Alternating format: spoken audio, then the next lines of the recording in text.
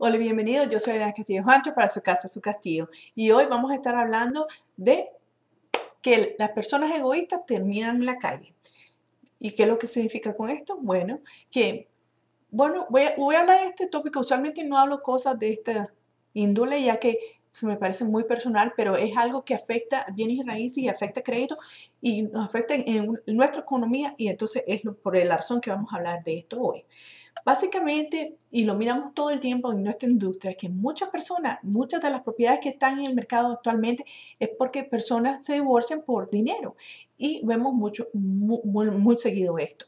Pasa que las personas que son egoístas en el sentido que si usted tiene una pareja, hombre, mujer, hombre, hombre, no importa, si usted va a comprar junto con otra persona, tienen que tener las mismas metas financieras en común, ya que o si usted no tiene las mismas metas financieras o es una persona egoísta que no aporta, ¿verdad? En el sentido de mantener la economía de la, de la casa, o aunque no trabaje, digamos, gasta mucho o, o simplemente le vale y no califica y usted solo consume, entonces, o, o varios escenarios, hay muchos escenarios.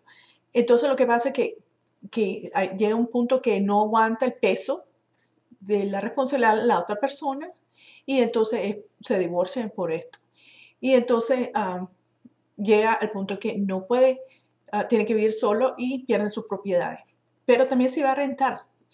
Pasa mucho que si son egoístas, lo mismo. Si usted renta con otra persona y usted no contribuye o no paga tiempo o no, le ayuda a la persona con quien renta, pierden la amistad, pierden la confianza y también se disuelve la situación de donde vive y entonces termina viviendo solo. Pero más importante, si usted es una persona egoísta, entonces lo mejor es que gane mucho dinero para que no tenga que calificar con otra persona, porque muchas personas no califican sola para un préstamo y por eso ah, y califican con otra persona.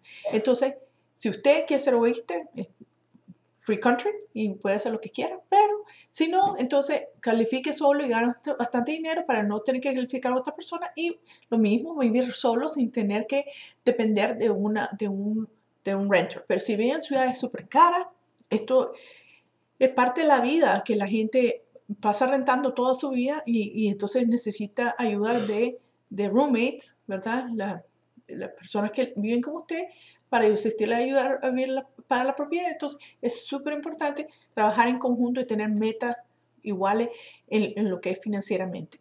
Bueno, espero que te las haya ayudado y hasta pronto.